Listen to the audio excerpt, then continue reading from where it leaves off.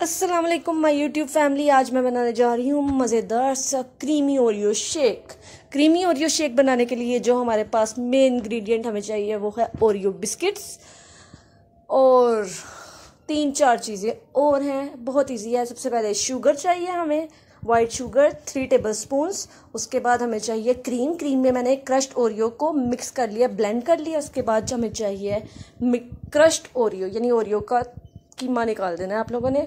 उसके बाद चाहिए फ्रेश मिल्क और उसके बाद हमें चाहिए क्रीम कोई भी क्रीम डेरी क्रीम कोई भी यूज़ कर सकते हैं आप लोग। सबसे पहले जूसर में डालेंगे हम लोग फ्रेश उसके बाद हम लोग डालेंगे फ्रेश दूध डाल लिया।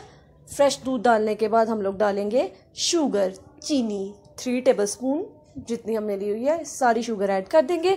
सारी शुगर ऐड करने के बाद हम लोग डालेंगे क्रीम और ओरियो को, जो मैंने ब्लेंड किया हुआ है वो। और ये देख लें, आप एक लास्ट शक्ल मैं आपको दरमियान में दिखा रही हूँ, ताकि आपका पीने का और दिल करे।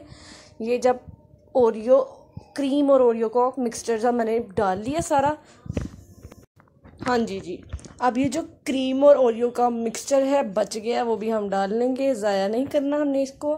सारा मैं ब्लेंडर में स्पून से डाल रही हूँ। उसके बाद डालना है क्रश्ड ओरियो क्रश्ड ओरियो का जो टेस्ट क्रश्ड ओरियो डालने के बाद जी जूसर चला दो और अपने कान बंद कर लो। हाँ जी, कान बंद किए हुए हैं।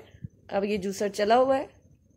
ये जी हमारा तैयार हो गया ओरियो शेक ओरियो शेक जब तैयार हो जाएगा, उसको डालना है हमने प्यारे से ग्लास में। ग्लास में डालेंगे।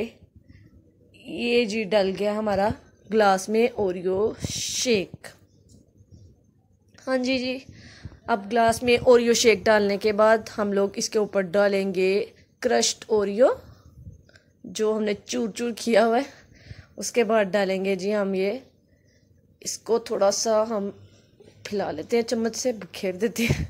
उसके बाद डालेंगे हम लोग चॉकलेट। कोई भी चॉकलेट आप लोग ले लें, डार्क चॉकलेट ले लें, या डेरी मिल्क कोई भी चॉकलेट ले लें, क्रश कर लें, उसके बाद थोड़ी सी क्रीम डालेंगे, वो क्रीम अंदर मिक्स हो जाएगी।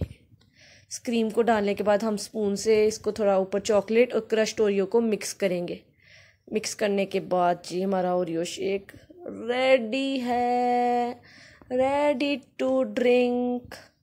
अब हम इस ओरियो शेक को रख देंगे और